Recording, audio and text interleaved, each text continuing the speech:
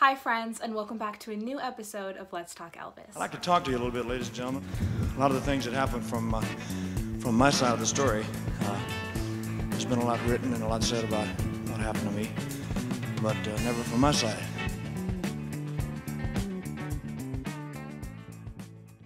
So, disclaimer before we start I do not make these episodes to give excuses for any of Elvis's behavior or choices. I simply add context and explanation and research into topics relating to Elvis that I am passionate about because I truly believe that he deserves that. So, today, I have been saying this almost for every single episode that I have been making recently, but I truly, really mean it today, and that is that this episode I have been wanting to make it for a while, um, but it's just one of those ones that I held off on so I could get the most effective amount of research, information, facts, into this video that I can because it is a touchy subject. We're going to be discussing today, does Elvis deserve the title King of Rock and Roll? People have been questioning whether or not Elvis deserves this title for as long as anyone can remember. They often take that title away from him and place the crown on another person in music history, such as Little Richard or Chuck Berry, etc. What a lot of people don't know is that Elvis rejected this title profusely and never referred to himself as the king of anything. He would often say, No, I'm not the king, I'm just an entertainer. Jesus Christ is the king, things like that. Music is so often attributed to and associated with someone's culture which can often lead to segregation within the bounds of recording music. Elvis was frowned upon by critics for endorsing black music and bringing it to white teens. However, these barriers were ultimately just another way to keep people separated, to enforce racism in even the smallest forms of media. Elvis became a threat when he started singing that kind of music to a white teenage audience. People often think that Elvis was seen as evil purely for the controversial way that he moved or gyrated on stage, which is true. But that wasn't the only reason that he had America in upheaval. His singing was so unique that the closest thing it could be compared to at the time was that of the rhythm and blues and soul and country styles that the black people of the time exhibited. Not only was Elvis supposedly toying with the morals and the personal thoughts of the young generation of the day, but he was also exposing them to music that they were not meant to listen to. You have to remember that young teens of this time were supposed to be listening to people like Frank Sinatra and Dean Martin and other crooners of that sort. Rock and roll as a genre did not yet exist. So when Elvis rose to fame, he rose quickly. White teen America controlled popularity and record sales. They controlled who was talented and who should be listened to and who was in and who they didn't vibe with black teens were not being catered to in that way. But nonetheless, both white and black teenagers loved Elvis. Black teens most likely liked Elvis because he was familiar, he had a familiar sound, and white teenagers loved Elvis because he had a completely different, unique, new sound that they had never heard before. It was different from anything they had ever heard. Elvis had the whole package. He was classy yet sexy and funny yet respectful. And he had the talent to match. He didn't have to put on an act. It was natural for him to perform the way that he did. So a lot of people throw around their opinion that Elvis, because he was white and privileged, stole that music from black people and profited off of their music in ways that they could not have done. They think that he stole the music from black people who could not perform their art as freely as he could. I I want to make an entire new episode, an updated version on this topic, um, but I'm going to try to sum it up as best as I can for now.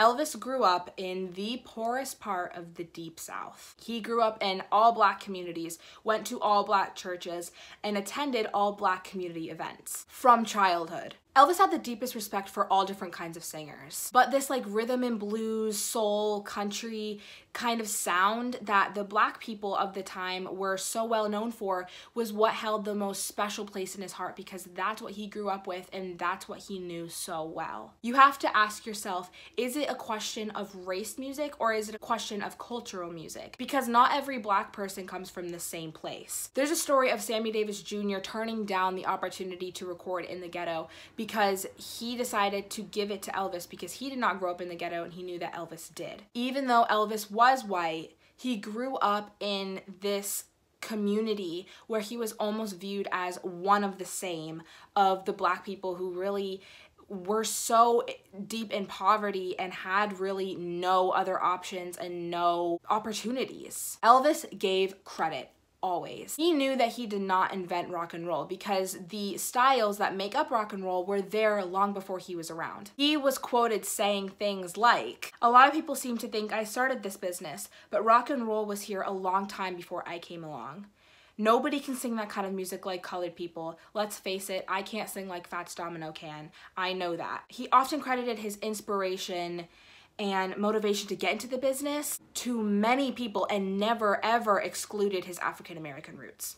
On top of that, uh, many black artists are quoted saying that Elvis opened the doors for their voices to be heard and for their voices to be recognized by the masses. Elvis basically rejected that line of segregation and said that music is music and it can be enjoyed by anybody and everybody no matter the color of your skin. To quote Maggie once more, she has said in her Instagram stories that Elvis was not blind to the issues black people had to face. He was opposed to taking them and their contributions for granted. Instead, he embraced the culture that he was surrounded by and showed people who were ignorant and fearful of such things. Many black artists of the time credit Elvis for helping them break through to the mainstream as he made rock and roll popular enough for listeners to branch out to the other artists. I always think if he intended to steal rock and roll and he intended to claim that sound for his own and take it from the black people and use that to make himself rise in popularity. Don't you think he would have made it known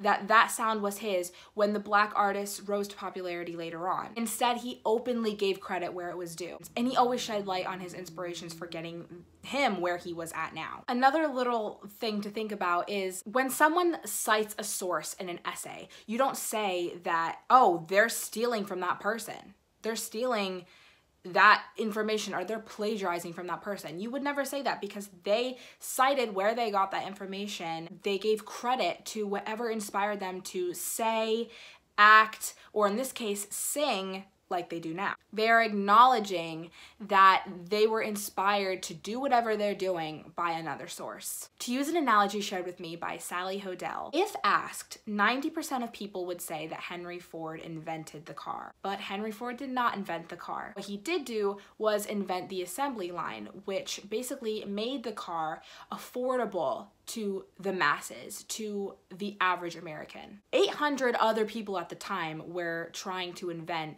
a good car. But Henry Ford gets the credit for providing Americans with an affordable quality car. The same goes for Elvis. When he appeared on TV, he became a household name. He was on every television in America. He was made accessible to the masses. Oh, he did not invent rock and roll. He opened the doors for it to be heard and enjoyed by everyone. He opened the doors for other artists to be discovered and have their voices heard and have credit paid to them where it was due. Elvis embodied a sound that had its roots in the deep south, but was also so fresh and new to the young generation. He catered to everyone. I want to end off with a quote from the book Destined to Die Young, which I think summarizes this topic pretty nicely. Without George Washington, we might have had a long dynasty of kings at the helm. Without Thomas Jefferson, we might not have had the words, all men are created equal, in which to root the evolution of freedom. Without Henry Ford, perhaps cars would still be available only for wealthy people. Without Martin Luther King Jr., the civil rights movement of the 1960s may have been fruitless. Without Elvis Presley, all the music that came after him would not have happened when it did or in the same way. Elvis contributed to American fabric and changed the entire world with a cultural impact that could never be equaled. That is all for today. I hope you guys enjoyed this video and found it helpful. If you're watching this on YouTube, don't forget to subscribe and hit that thumbs up button if you enjoyed it and the thumbs down if you didn't. And if you're watching this on Instagram, make sure to follow me for more Let's Talk Elvis videos and more insight into Elvis's life, not only as the amazing entertainer that he was, but the even more amazing human being that he was. Thank you guys for watching and I'll see you guys in my next video. Bye!